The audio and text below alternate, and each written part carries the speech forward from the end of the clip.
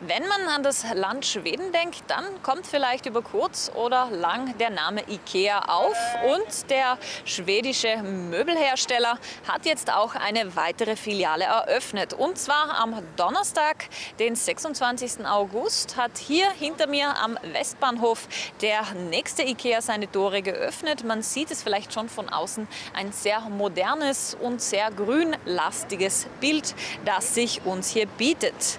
Um allen Besuchern einen entspannten Shoppingtag zu ermöglichen, gibt es heute hier die Möglichkeit, mit der Variante Click und Meet sich dementsprechend schon ein Zeitfenster zu holen, damit es dann auch nicht zu allzu langen Wartezeiten kommt. Und der IKEA hier im Hintergrund, er sieht auf jeden Fall gut aus. Es gibt ganze sieben Stockwerke. Vier davon sind mit Verkaufsflächen in einer Größenordnung von 9000 Quadratmetern.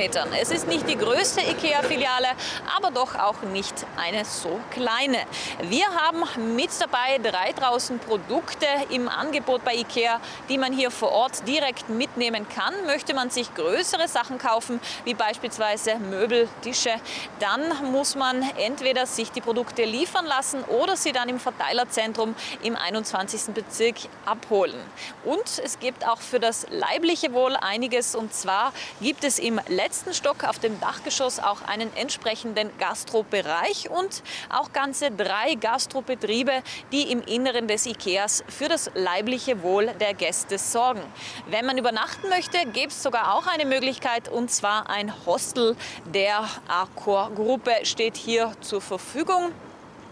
Das Bild, das sich uns hier bietet, ist jeden, auf jeden Fall ein sehr schönes. Auch Bürgermeister Michael Ludwig war heute kurz vor Ort, um bei der Eröffnung dabei zu sein.